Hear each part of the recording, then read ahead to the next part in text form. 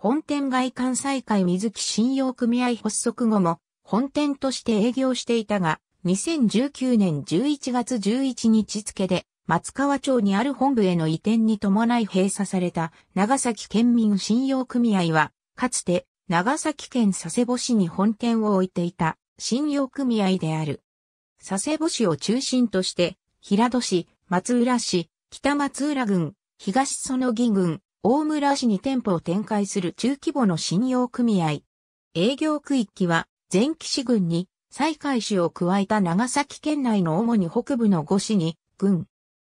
1980年代後半から営業戦略を転換、預金の集金、不動産担保による貸付、定期積立といった。当時の信用組合における。中核事業を取りやめ、商工業者への営業縮小をする一方で、個人対象の小口貸付や多重債務対策を拡充、生活者金融に事業の主軸を移す、事業展開が金融ビッグバンで、日本の金融機関が激震に襲われていた1990年代後半に注目を集めた。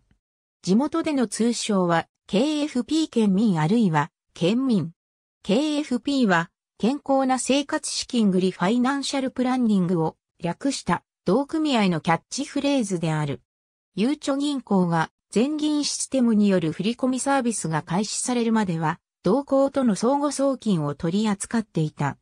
2018年1月29日付で、佐世保中央信用組合と合併、西海水木信用組合が発足された。ありがとうございます。